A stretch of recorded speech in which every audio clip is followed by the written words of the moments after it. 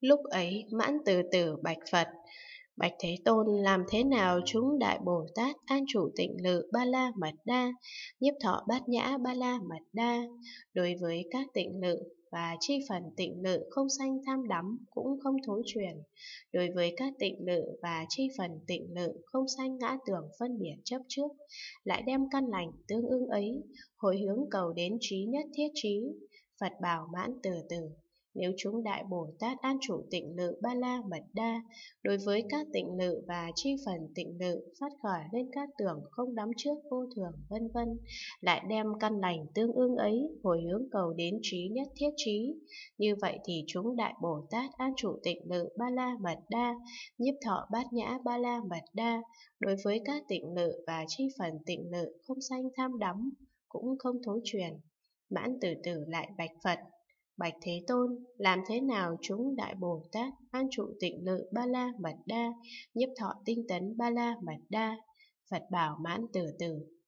Nếu chúng Đại Bồ Tát an trụ tịnh lự Ba La Mật Đa, vượt qua các pháp tạp nhiễm cõi dục, dùng phương tiện nhập vào bốn tịnh lự, bốn định vô sắc vắng lặng an vui,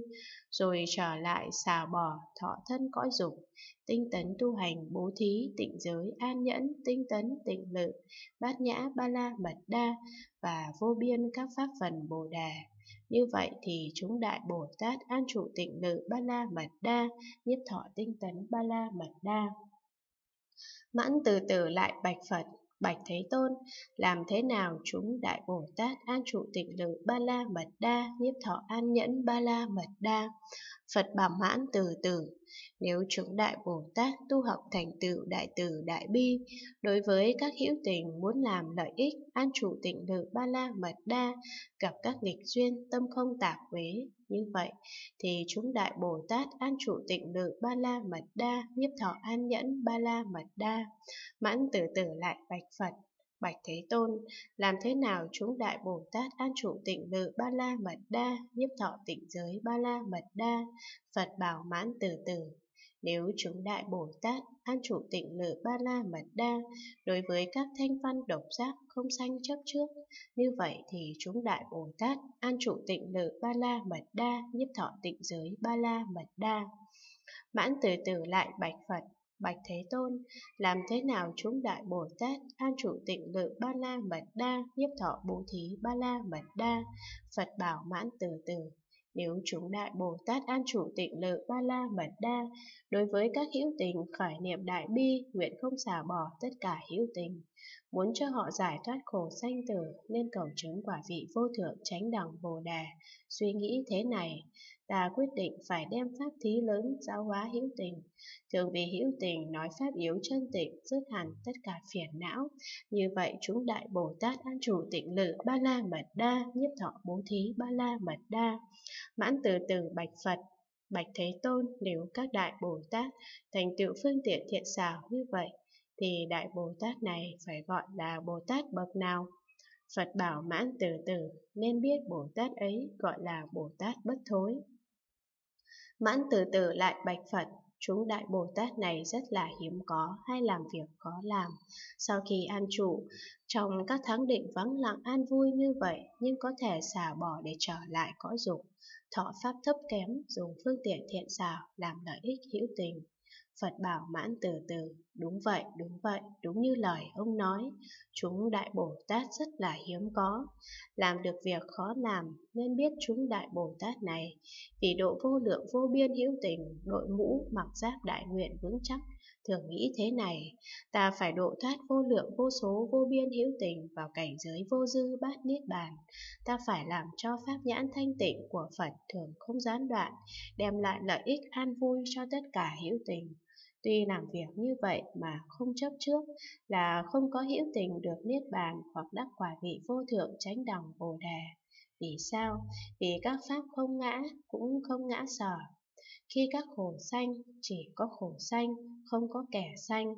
Khi các khổ diệt chỉ có khổ diệt, không có kẻ diệt. Nên biết cũng không có kẻ chứng hay có thể đắc pháp thanh tịnh. Do nhân duyên này nên biết chúng Đại Bồ Tát rất là hiếm có, làm được việc khó làm. Mãn từ từ bạch Phật, bạch Thế Tôn đúng vậy, bạch Thiện Thể đúng vậy, Chúng Đại Bồ Tát rất là hiếm có, làm được việc khó làm. Vì sao? Tuy thật không có pháp có sanh có diệt hoặc vào niết bàn hoặc chứng quả vị vô thượng chánh đẳng bồ đề mà các đại Bồ Tát vì độ vô lượng vô biên hữu tình, tinh tấn tu hành các hạnh Bồ Tát, cầu chứng quả vị vô thượng chánh đẳng bồ đề, muốn vì hữu tình mà tuyên thuyết xuất hẳn các pháp tham sân si, siêng năng tinh tấn tu học được vào niết bàn hoặc vì hữu tình giảng nói đạo của Đại Bồ Tát, làm cho siêng năng tinh tấn tu học, mau chứng quả vị vô thượng chánh đẳng Bồ Đề. Phật bảo mãn từ từ, nếu tâm Đại Bồ Tát không tán loạn, luôn luôn an trụ tác ý tương ưng trí nhất thiết trí, thì Đại Bồ Tát này an trụ tịnh lự ba la mật đa. Nếu Đại Bồ Tát trụ tác ý tương ưng bậc thanh văn hoặc tác ý tương ưng bậc độc giác, thì Đại Bồ Tát này tâm thường tán loạn. Vì sao mãn từ từ? Vì Đại Bồ Tát tu học tác ý tương ưng nhị thừa, ngăn ngại quả vị vô thượng tránh đẳng Bồ Đề, khiến cho tâm Bồ Đề thường tán loạn. Tùy các Đại Bồ Tát duyên cảnh sắc thanh hương vị xúc phát khỏi các thứ tác ý phi lý, rối loạn tâm bố thí vân vân của Bồ Tát, nhưng không chướng ngại sự cầu trí nhất thiết trí của Bồ Tát, hoặc pháp không thể chướng ngại trí nhất thiết trí Bồ Tát, dù hiện tiền nhưng đối với sự tu tịnh lự ba la mật đa của chúng đại Bồ Tát, chẳng gọi là pháp quá trái nghịch, chẳng phải thối lui hẳn bậc định của Bồ Tát. Mãn từ từ bạch Phật, bạch Thế Tôn tất cả như lai ứng tránh đẳng giác, vì quán nghĩa gì chỉ khen ngợi tất cả công đức các chúng đại Bồ Tát mà không khen ngợi thanh văn. Phật bảo, mãn từ từ, nay ta hỏi ông, tùy ý ông đáp, Ý ông nghĩ sao mặt trời xoay quanh chiếu ánh sáng khắp đến người châu thiện bộ này, đóm đóm làm được không? Mãn từ từ thưa, Bạch Thế Tôn chẳng làm được, Bạch Thiện Thệ chẳng làm được. Phật bảo, đúng vậy, đúng vậy, đúng như lời ông nói. Tất cả việc làm của chúng Đại Bồ Tát cũng lại như vậy, khả năng của các thanh văn không thể hoàn thành được. Mãn từ từ bạch Phật, Bạch Thế Tôn, làm sao biết được chỉ có chúng Đại Bồ Tát có suy nghĩ thế này? Ta phải độ thoát vô lượng vô số vô biên hữu tình, làm cho nhập vào cõi vô dư bát niết bàn. Ta phải làm cho pháp nhãn thanh tịnh của Phật không ngừng không đoạn tuyệt. Lại